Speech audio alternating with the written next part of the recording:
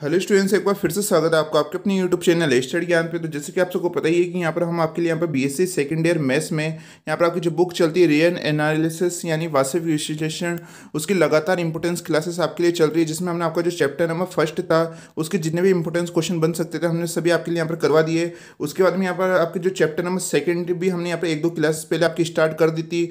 इससे पहले वाले वीडियो में हमने यहाँ पर जो हमारा काफ़ी इंपोर्टेंट टॉपिक्स होता है, यहाँ पर आपके संवर्त संवर्त समुच्चय यानी क्लोर सेट, उसके काफ़ी इंपॉर्टेंट थ्योरम के ऊपर बात करी थी, जिसमें से काफ़ी बार यूनिवर्सिटी एग्ज़ाम में थ्योरम पूछी जाती है। और आज यहाँ पर आपको, हम यहाँ पर बताएँगे ओपन जो आपका सेट है, यानी विवृत समुच्चय के बारे में, और इसकी जो इंपोर्टेंस आपकी थ्योरम्स होती है, उनके बारे में, जो कि उनमें से एक क्वेश्चन आपको यूनिवर्सिटी एग्ज़ाम में पूछने के काफ़ी ज़्यादा यहाँ पर चांस बने रहते हैं। तो आज की क्लास यहाँ पर आपके लिए मोस्ट इंपोर्टेंट होने वाली है तो आप इस क्लास को पूरा एंड तक ज़रूर देखिएगा। जिन स्टूडेंट्स इससे पहले की क्लासेस नहीं दे रखी तो हमने इसके ऊपर सेपरेट प्ले बना रखी है, उसका लिंक आपको डिस्क्रिप्शन में मिल जाएगा साथ में यहाँ पर हम आपको लगातार वीडियो में ये भी बताते जा रहे हैं कि यहाँ पर आपके जो बी एस सेकेंड ईयर में एक और बुक होती है आपके थर्ड पेपर में डायनेमिक्स यानी गति विज्ञान उसकी भी हमने क्लासेस स्टार्ट कर चुके हैं इंपोर्टेंस क्वेश्चन के ऊपर।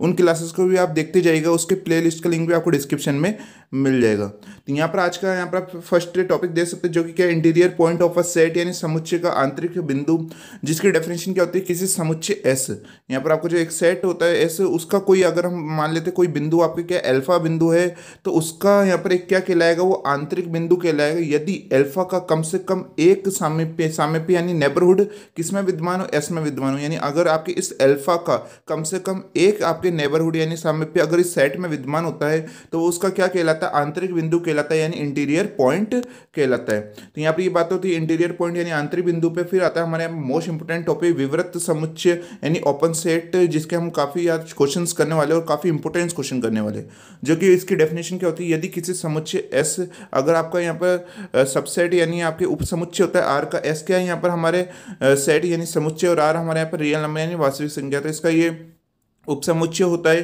का प्रत्येक अवयव यहाँ पर बिंदु, उसका क्या कहलाता है? आंतरिक बिंदु हो तो ऐसे आपका क्या होगा?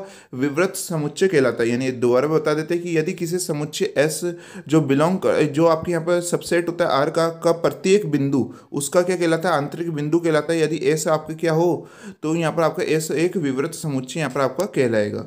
और यहाँ पर इसकी कंडीशन देख सकते हैं, यहाँ पर इंग्लिश में बता देते हैं if every point of any set S subset R is its interior point then S is called an open set अब यहाँ पर क्या होता है कि अगर आपका एस एक विवृत समुच्चय तो इसको क्या कंडीशन होती है कि यहाँ पर इसमें आप बता सकते हैं कि आपको जो एस है वो बिलोंग करता है एस में, और यहाँ पर आपको जो एक्सफ्लोन है वो ज़ीरो से यहाँ पर लेस देन एक्सफ्लोन है वो ज़ीरो से यहाँ पर ग्रेटर देन होता है। इस कंडीशन में यहाँ पर आपका जो एक्स माइनस एक्सफ्लोन और जो एक्स प्लस एक्सफ्लोन है, वो आपका यहाँ पर उप समुच्चय यानी सबसेट होगा किसका? एस का यानी और समुच्चय का यहाँ पर सबसेट यहाँ पर आपके होता है, ये कंडीशन आपको याद रखनी है। तो इसके ऊपर हमारी एक थ्योरम आ जाती है जो कि मोस्ट मोस्ट इंपॉर्टेंट है और ये काफ़ी बार यूनिवर्सिटी एग्ज़ाम में पूछी गई है और इसके इस साल आने की भी काफ़ी ज़्यादा यहाँ पर चांस बने रहते हैं। तो आज के यहाँ पर आप जो जितनी भी क्लासेस होने वाली है, अब आपकी लगातार, अब यहाँ पर हम नेक्स्ट वीडियो में आपके लिए यहाँ पर जो काउंटेबल और जो काउंटेबल सेट है, साथ में अनकाउंटेबल सेट यानी गण्य और उप अगण्य यहाँ पर समुच्चय, उनके हम क्वेश्चन करेंगे नेक्स्ट वीडियो में जो कि काफ़ी ज़्यादा इंपॉर्टेंट होते हैं। तो अब जितनी भी क्लासेस आती जाइए वो मोस्ट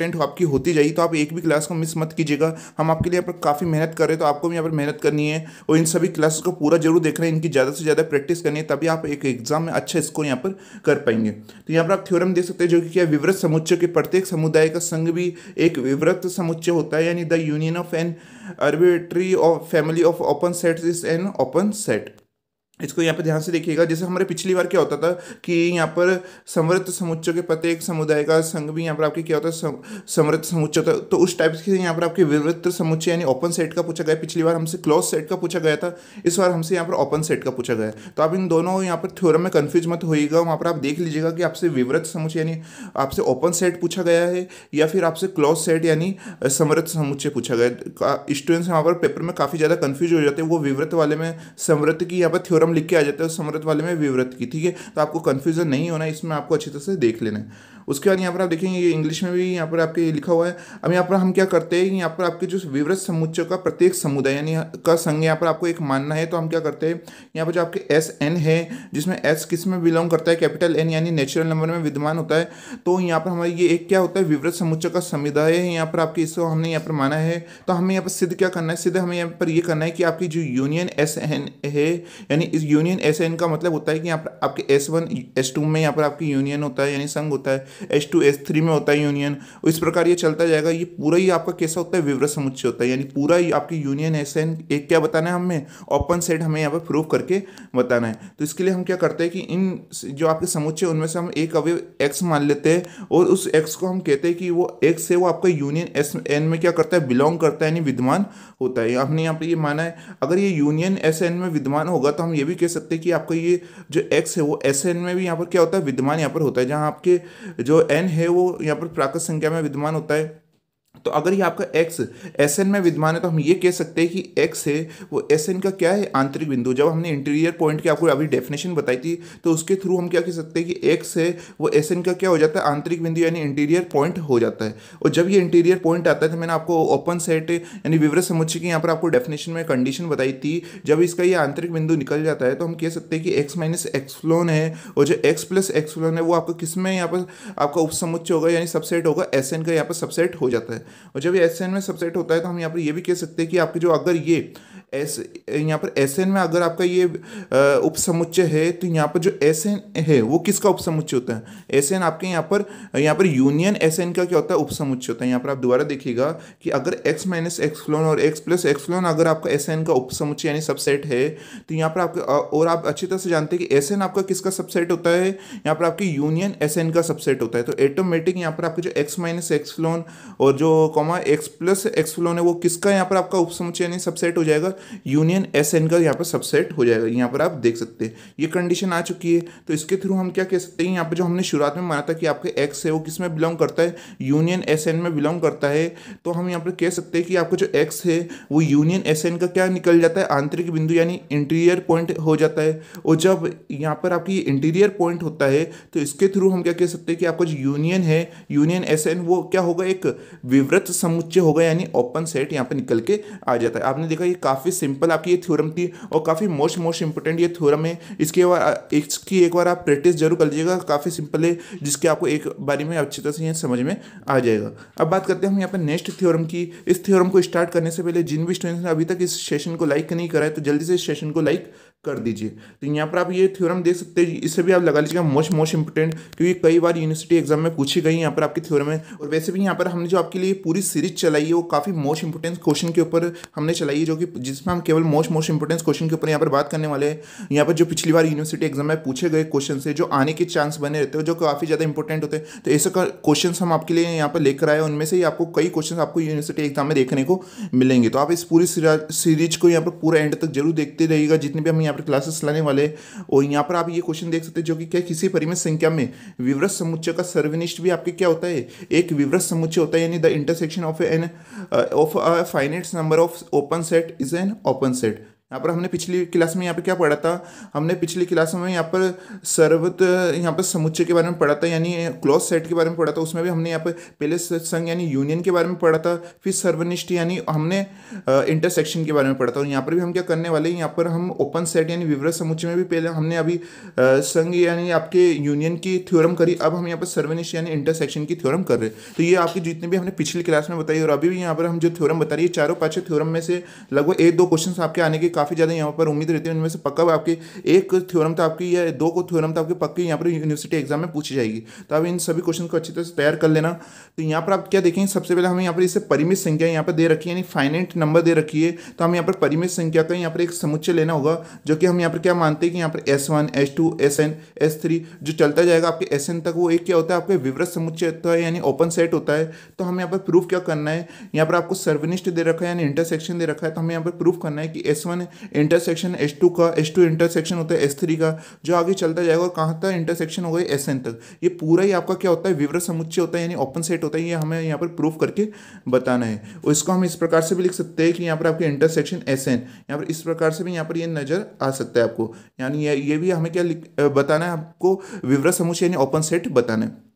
तो यहाँ पर इस पूरे को विवरण समुच्चय बताने से पहले हम सबसे पहले यहाँ पर क्या सिद्ध करेंगे कि इनमें से दो मान लीजिए आप एस वन और एस टू कि आपके एस वन और इंटरसेक्शन एस टू विवरण समुच्चय होता है अगर ये दोनों आपके निकल जाता है तो इस प्रकार हम कह सकते हैं कि आपके जितने भी यहाँ पर एस थ्री एस फोर यहाँ पर आपकी जो सीरीज़ चलती जाएगी पूरी आपकी क्या होता है विवरण समुच्चय होता है तो हमने यहाँ पर दो हमारे यहाँ पर सेट यानी समुच्चय लिए एस और एस जिसको हमें यहाँ पर क्या बताना है कि एस इंटरसेक्शन होता है एस का तो हम यहाँ पर मानते हैं कि जो एस में से हम यहाँ पर एक हमारे यहाँ पर एलिमेंट्स यानी अवयव मान लेते, जो कि क्या एक्स है, हम यहाँ पर जब पिछली वाली थ्योरम में हम जब करते थे, पिछले समग्र समुच्चय में तो वहाँ पर हम एल्फा मानते थे। चाहे तो आप वहाँ पर भी एक्स मान सकते थे, और यहाँ पर हम एक्स मान रहे, चाहे तो आप इसकी जगह भी एल्फा मान सकते, कोई टेंशन नहीं है। तो हम यहाँ पर क्या करते हैं एक्स है, वो आपका S one intersection S two में क्या करता है बिलोंग करता है। यहाँ पर आप देखिएगा, ये चीज़ हमने यहाँ पर मानी है, उसको हमें लास्ट में हमें प्रूफ करके बताना पड़ेगा कि आपका जो एक्स है, वो एस वन और इंटरसेक्शन एस टू का क्या निकलना चाहिए, आंतरिक बिंदु यानी इंटीरियर पॉइंट निकलना चाहिए। और जब वो आ जाएगा इंटीरियर पॉइंट तो हम वहाँ पर कह सकते हैं कि एस है, वो यहाँ पर जो एक्स है, वो S one intersection S two का क्या आ जाएगा आपके? विवरण समुच्चय यानी ओपन सेट आ जाएगा। तो यहाँ पर आपने देखा कि हमने यहाँ पर क्या माना है कि एस है, वो बिलोंग करता है S one intersection S two में। तो इस प्रकार से हम ये भी कह सकते हैं कि एक्स है, वो एस वन में बिलोंग करता है और एक्स है, वो एस टू में यहाँ पर बिलोंग करता है। तो इन दोनों कंडीशन को हम ये देखते हुए कह सकते हैं कि एक्स है, वो एस वन तथा एस टू का क्या है? आंतरिक बिंदु या इंटीरियर पॉइंट है, जहाँ आपके एस वन और एस टू कैसा होता है? विवृत होता है यानी ओपन होता है। और अगर ये कंडीशन आती है तो हम यहाँ पर ये भी कह सकते हैं कि जो आपके एक्स यहाँ पर जब हमने विवरत समुच्चय यानी ओपन सेट की आपको डेफिनेशन बताई थी तो वहाँ पर हमने कहा था कि जो आपके एक्सफ्लोन है वो आपके ग्रेटर देन होता है ज़ीरो से। तो इस कंडीशन को हमें यहाँ पर आंतरिक बिंदु जब ये निकला है तो हम ये भी कह सकते हैं कि आपको जब हमने एस वन और एस टू माना है तो यहाँ पर क्या होगा? एक्सफ्लोन वन और एक्सफ्लोन टू होगा, जो किससे लेस देन होगा, यहाँ पर किससे ग्रेटर देन होगा? ज़ीरो से ग्रेटर देन होता है। जब ये यहाँ पर इससे ग्रेटर देन होता है तो हमारी ये कंडीशन आती है कि यहाँ पर जो एक्स माइनस एक्सफ्लोन वन है और एक्स प्लस एक्सफ्लोन टू है, वो किसका सबसेट यानी किसका उपसमुच्चय होता है? एस वन का उपसमुच्चय होता है। और यहाँ पर आप देखेंगे एक्स माइनस एक्सफ्लोन टू और एक्स प्लस एक्सफ्लोन टू है, वो किसका यहाँ पर सबसेट होगा? यहाँ पर आपके किसका उपसमुच्चय होगा? एस टू का यहाँ पर उपसमुच्चय हो जाता है। और यहाँ पर हम एक और कंडीशन मानते हैं कि यहाँ पर माना हमने कि आपका जो एक्सफ्लोन है वो मिनिमम होता है, यानी आपके न्यूनतम होता है, जिसमें आपके कौन दो एलिमेंट्स होते हैं, आपके एक्सफ्लोन वन और एक्सफ्लोन टू यहाँ पर आपके विद्यमान होता है। और जब ये विद्यमान होता है तो हम ये भी कह सकते हैं कि जो आपके एक्स माइनस एक्सफ्लोन है और जो एक्स प्लस एक्सफ्लोन है, वो किसका सबसेट यानी किसका उपसमुच्चय होगा यहाँ पर आपके एक्स माइनस एक्सफ्लोन वन और एक्स प्लस एक्सफ्लोन का यहाँ पर आपका उपसमुच्चय होता है। ओके और यहाँ पर जो जो ये वाला है, यहाँ पर आपके किसका उपसमुच्चय होगा? एस वन का, जो कि अभी हमने ऊपर आपको यहाँ पर बताया था यहाँ पर आप देख सकते हो, और यहाँ पर भी आप देखेंगे कि x x minus x phloem और एक्स प्लस एक्स फ्लोन है, वो किसका यहाँ ऊपर समुच्चय होगा? आपका इसका उपसमुच्चय होगा। और यहाँ पर ये है, वो आपका किसका यहाँ पर उपसमुच्चय होता है? आपका टू का यहाँ पर उपसमुच्चय होता है। आप यहाँ पर इसे टू कर लीजिएगा। यहाँ पर हमने एस वन लिख दिया ये एस टू यहाँ पर कर लीजिएगा कि यहाँ पर आपकी किसका उपसमुच्चय होता है सबसेट होता है यहाँ पर एस टू का हो जाता है जब यहाँ पर आपकी ये कंडीशन आती है तो हम ये भी कह सकते हैं कि इन दोनों का जो इंटरसेक्शन है वो यहाँ पर आपके एस वन इंटरसेक्शन और एस टू का इंटरसेक्शन का क्या होगा यहाँ पर आपके इसका उपसमुच्चय यहाँ पर हो जाएगा हम क्या कह सकते हैं कि एक्स माइनस एक्स फ्लोन और जो एक्स प्लस एक्स फ्लोन है वो एस वन और एस टू इंटरसेक्शन का यहाँ पर क्या हो जाएगा उपसमुच्चय होगा यानी सबसेट हो जाएगा जैसा कि यहाँ पर आप ये कंडीशन देख सकते हो जब जब ये कंडीशन आ जाती है आपके तो इसके थ्रू हम क्या कह सकते हैं कि आपका जो एक्स है, वो एक्स एक्स वन और एच टू के इंटरसेक्शन का क्या निकल जाता है? आंतरिक बिंदु निकल जाता है, यानी इंटीरियर पॉइंट आ जाता है। जब ये इंटीरियर पॉइंट आता है तो मैंने शुरुआत में आपको बता दिया था कि आपका जो S one intersection H two है, वो कैसा निकल जाएगा? आपका उप, विवृत उप समुच्चय आ जाएगा, यानी ओपन सेट आ जाएगा। और जब S one intersection S two विवृत समुच्चय, यानी ओपन सेट हो चुका है तो इस प्रकार हम ये भी सिद्ध कर सकते हैं, यानी सिमिलरली हम ये भी प्रूव कर सकते हैं कि यहाँ पर आपको जो S one intersection intersection H two का इंटरसेक्शन होगा H two intersection S three का होगा और थ्री ये चलता जाएगा और ये किसका इंटरसेक्शन एस एन तक यहाँ पर ये चलता जाएगा और ये पूरा ही आपका कैसे निकल जाएगा? विवरत समुच्चय आ जाएगा, यानी ओपन सेट यहाँ पर निकल के आ जाएगा और यही तो हमें यहाँ पर प्रूफ करना था जो कि हमारा आ चुका है। तो ये क्वेश्चन भी हमारा यहाँ पर मोस्ट मोस्ट इंपोर्टेंट था जो कि आपने देखा काफ़ी ईजी था, बस एक बार आपको प्रैक्टिस करने की देर है। तो अगर आपको थोड़ी तब भी दिक्कत आ रही है तो इस वीडियो को आप थोड़ा पीछे जाके दोबारा यहाँ पर देख सकते हैं। ये क्वेश्चन काफ़ी इंपोर्टेंट होता है तो आप इसकी अच्छी तरह से प्रैक्टिस कर लीजिएगा उसके बाद हमारी जो नेक्स्ट क्लास होने वाली है, जो कि हमने आपको अभी बताई दी थी कि आपके काउंटेबल और अनकाउंटेबल यानी गणनीय और उपगण्य, यहाँ पर अगण्य यहाँ पर आपके उप समुच्चय समुच्चय के बारे में होने वाली है, जो कि काफ़ी ज़्यादा इंपॉर्टेंट क्लासेस होने वाली है। उनमें से कई क्वेश्चन यूनिवर्सिटी एग्ज़ाम में पूछे जाते हैं। तो नेक्स्ट क्लास का लिंक आपको डिस्क्रिप्शन में मिलेगा उसे आप ज़रूर देख लीजिएगा। आज की क्लास आपको कैसे लगी प्लीज़ कमेंट करके हर स्टूडेंट्स को ज़रूर बताना है। और इस वीडियो को लाइक करना ना भूले। तो मिलते हैं नेक्स्ट वीडियो में, तब तक के लिए पढ़ते रहिए, सीखते रहिए।